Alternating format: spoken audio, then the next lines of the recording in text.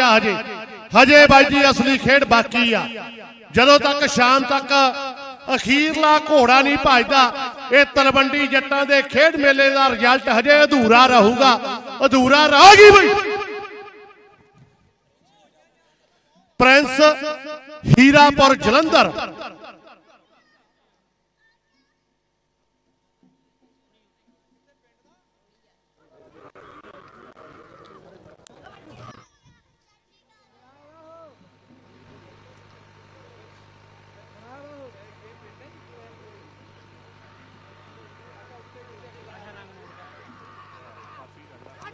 29 second 88 point ਆ ਜੀ।